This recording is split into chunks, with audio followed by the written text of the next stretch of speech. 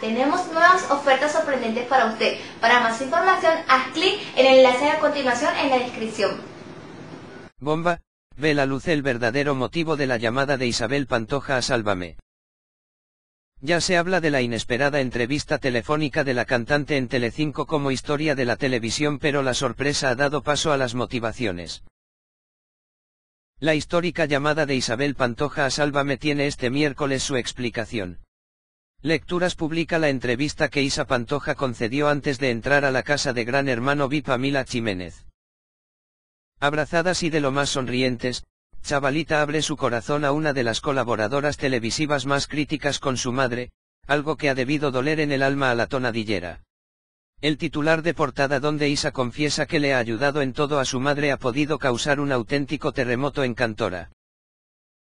A mi madre le he dado todo, hasta dinero, explica Isa Pantoja a Mila Jiménez mientras habla de todo, su infancia en Cantora, su relación con María del Monte, sus primeros encuentros sexuales y su actual relación con la cantante. Sin tapujos y abierta a todo, Isa da su entrevista más sincera donde su familia es la única protagonista. Ni Alberto Isla, Omar Montes o Alejandro Albalá ocupan espacio en unas páginas donde Isabel Pantoja y todo su círculo es el verdadero filón. Esta situación ha sido la que motivó a Isabel a descolgar el teléfono y llamar a la que fuera su amiga, Chelo García Cortés, para entrar en el programa.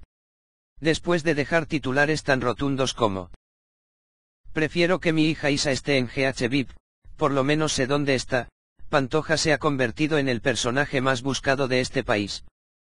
Volverá a llamar a Sálvame para coincidir con Jorge Javier y responder a todos los titulares que su hija ha dejado.